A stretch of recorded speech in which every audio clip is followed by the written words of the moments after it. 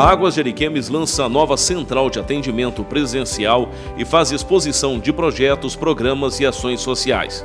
Em solenidade que contou com a presença de várias autoridades, a Águas de Ariquemes realizou o lançamento do Espaço Social das Águas e também da nova central de atendimento presencial, com instalações modernas e aconchegantes, prontas para receber a população. Na ocasião também foi servido um delicioso café da manhã e realizada uma exposição com os projetos, programas e ações sociais que são desenvolvidos no município de Ariquemes. Em 2022, mais de 27 mil pessoas foram alcançadas por meio das iniciativas da concessionária.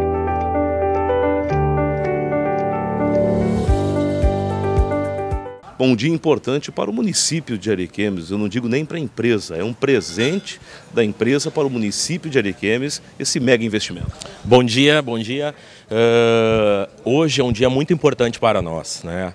Estamos lançando uma série, um pacote de programas e ações sociais. São programas voltados em educação, saúde, geração de renda né, e ações sociais. Todos esses projetos têm um fim, né, é trazer a comunidade de Ariquemes para dentro da Águas. Para nós é muito importante esse, esse, esse evento, porque a gente quer mostrar para a população que a área social que a gente está abrindo a porta hoje é para que todos venham, possam participar. Os jovens com o Pequeno Samurai, o projeto do Pequeno Samurai, uh, o Futebol Nota 10, são projetos que fazem que o jovem que está na rua possa vir para cá a ter disciplina, a ter uma educação, porque os projetos visam só não só o esporte, mas também o respeito, Uh, o, o, conhecimento, né, os nossos projetos sociais, que a gente vai às áreas mais carentes, uh, atuar de forma de trazer o conhecimento do saneamento, a necessidade do saneamento. Então são projetos para nós assim que traz muita felicidade a gente poder participar. A Águas não é só água e esgoto, mas é um trabalho de licença social. Nós temos que estar presente dentro da nossa comunidade. E também aproveito né, para fazer o lançamento hoje da nossa loja. Estamos lançando uma loja na, na uma loja nova, uma loja moderna, uma loja ampla, é, uma loja climatizada, tudo isso para quê? Para que o nosso usuário possa ter uma melhor agilidade, possa ter uma melhor uh, rapidez no seu atendimento. E esse é o nosso trabalho, isso é a Águas de Ariquemes. Agora fiquei impressionado com a estrutura. Você falando da estrutura, a estrutura implantada aqui, além de fornecer também um melhor atendimento, mais conforto ao cliente, isso aumenta a autoestima da própria equipe de profissionais. Né? Positivo, né? A gente fez uma revitalização em toda a área né? recuperamos toda a área. Essa área, nos momentos uh, uh, que o trabalho social não está sendo realizado, a própria equipe faz treinamento nessa área. Isso motiva muito nossos profissionais, porque somos uma equipe, né? a gente trabalha de forma integrada. Então, essa área também serve para nossos profissionais treinar, fazer qualificação. Nós temos nosso centro de treinamento e qualificação de instaladores hidráulicos, de instaladores de ramais de água. Então, isso aí cada vez mais mais é, melhorar e aprimorar o nosso profissional. Agora, bacana é o projeto Saúde Nota 10, né? Que vocês têm ido até os professores, até os alunos, um trabalho fantástico. É, esse é um trabalho muito importante para nós, né? Porque é, a conscientização parte do jovem. O jovem é o disseminador da informação.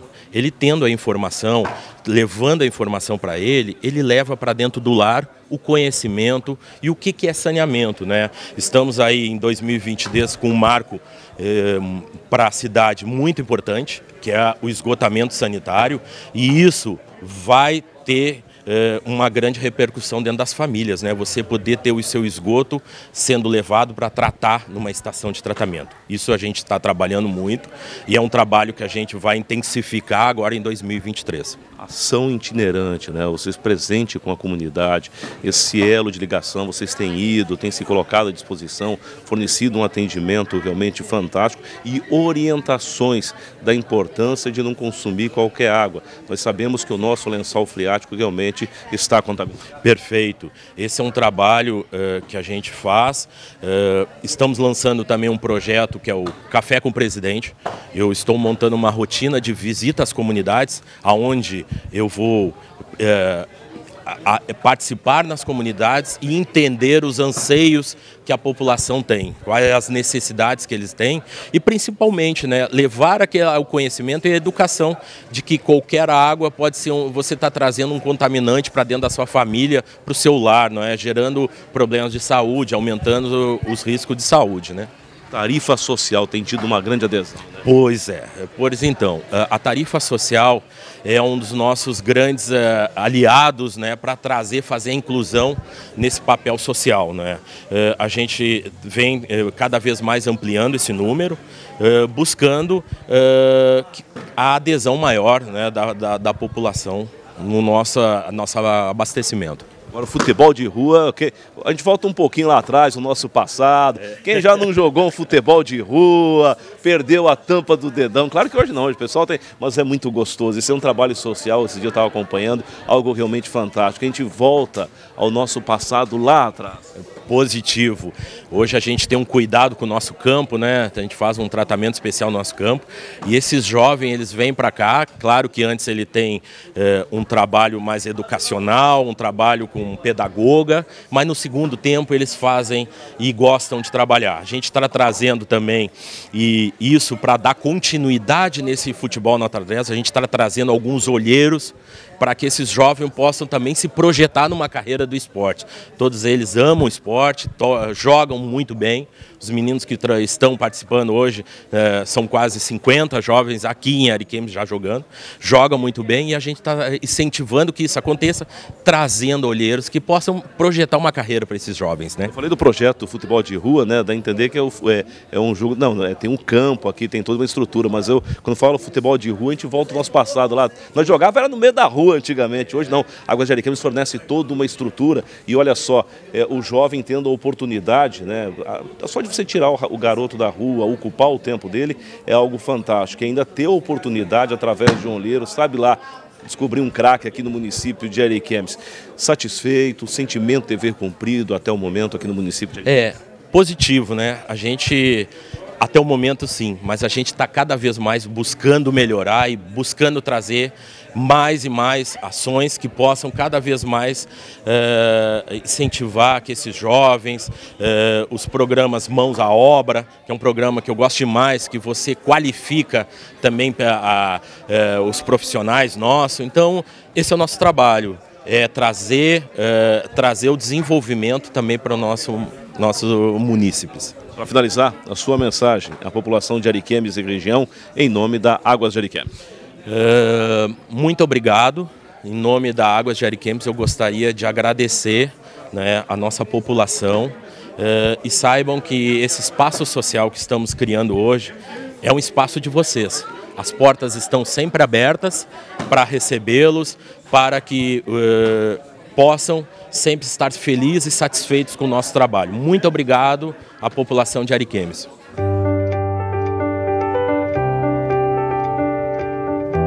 Muito bem, Adair Cândido representando a CIA, um dia importante, né, Adair? Uma empresa que realmente tem se preocupado com a Ariquemes, a gente está observando um mega investimento e várias ações sociais é, sendo realizadas no município de Ariquemes. O, o Ricardo e população de Ariquemes, o Adair que vocês estão vendo aqui, ele é a somatória de uma gama de gente atrás de mim, avós, bisavós, tataravós, para chegar a mim. Essa história da, dos saneamentos começou na Mesopotâmia, nos Sumérios, é, no, no, Egito e acabou chegando na, na, no Império Romano, que foi o melhor da época, e no, no, Brasil chegou no Rio de Janeiro em 1723, a primeira água encanada do Brasil, 1723. E aqui em Ariquemes, eu estou aqui desde o início, da Fundação CESP, quando inaugurou a primeira caixa d'água aqui, eu estava aqui, depois veio a CAERD, e cada uma dessas empresas teve a sua história, teve o seu benefício para a nossa região. E hoje, no atual momento, eu gosto muito do hoje, né? Eu só vivo hoje, mas não posso esquecer do passado, da, da somatória que tiveram. Essa empresa, a Egeia, que é a Águas de Ariquemes aqui, eu a conheço lá de Mato Grosso, com o nome de Água de Guariroba. É uma grande empresa, é a maior do Brasil hoje com a concessão do Rio de Janeiro, deve ser a maior do mundo. Esse é um grande trabalho voltado para a área social e isso me encantou. Eu fui várias vezes nessa empresa, um dos defensores para a chegada dela aqui. E é lógico que ela teve diversos problemas, porque para mim andar, virar atleta, eu caí, levantei, caí, levantei e acabei virando um atleta. Assim também foi a chegada da água de Ariquemes em Ariquemes. É, tiveram diversos problemas, tiveram diversas reclamações, mas é uma empresa que eu posso garantir que vai nos dar muito prazer, muita alegria, porque ela tem know-how, ela tem dinheiro e é uma empresa particular. Então eu tenho aonde até reclamar dela no, no, meio público, que é muito mais fácil que reclamar de uma empresa é, estatal como a Caerd no passado. Então, a Água de Ariquemes tem a minha confiança, tem a minha credibilidade e a credibilidade de quem realmente pesquisa a história de uma empresa. Bom, e você citou questões interessantes. Eu estou olhando aqui os programas é desenvolvido, né, eles não se preocupam só na questão também, por exemplo, nós temos a tarifa social que beneficia aquela família que realmente tem um poder aquisitivo baixo. Então, eu estava junto no dia que foi assinado o contrato e esse, essa preocupação foi do prefeito daquele momento, que era o Márcio Londe Raposo, depois veio Lorival, é, a preocupação com o povo carente da nossa região. Se bem que nós somos uma das regiões mais ricas do Brasil, né? A carência aqui às vezes é por hábito, mas é um povo muito rico, principalmente mental. Então a água de Ariquemes veio para uma região que realmente faz jus a ela, que é um povo rico, uma região rica, que é a cidade de Ariquemes e o nosso povo. Parabéns, viu? Eu, você fez uma lembrança muito boa. É, tudo começou com o ex-prefeito de Ariquemes, Márcio Londe Raposo, que foi muito no início até sofreu algumas críticas, mas hoje a população realmente observa que ele estava certo. E saiu com uma aprovação fantástica da administração. Então, Márcio, como gestor municipal, teve coragem de fazer coisas que outros não tinham. Na época da dengue, você lembra, né? É, aquela invasão na BR, lá na, na 364 do hotel, então ele teve, teve coragem aí, que a maioria dos, dos gestores que são políticos não tem essa coragem. E ele, por não ser político, ele teve coragem de tomar decisões em prol de Eric Emes, que vai beneficiar a nossa população, a nossa cidade para o resto da vida. Então, fica aí minha, o meu agradecimento a Deus e o meu agradecimento ao Márcio Lode Raposo e agora a água de Ariqueme na pessoa do senhor Ari e a sua equipe maravilhosa. Está aqui, ó, uma gestão deles aqui, que é formar atletas. Então é uma das áreas que eles atuam também, é, salvando a nossa juventude, que eu defendo isso de unhas e que é canalizar a nossa juventude a fazer parte de um grupo, qualquer grupo, pode ser de religião, pode ser da igreja, pode ser é, da maçonaria, ou qualquer grupo que a pessoa tenha real compromisso com a sociedade.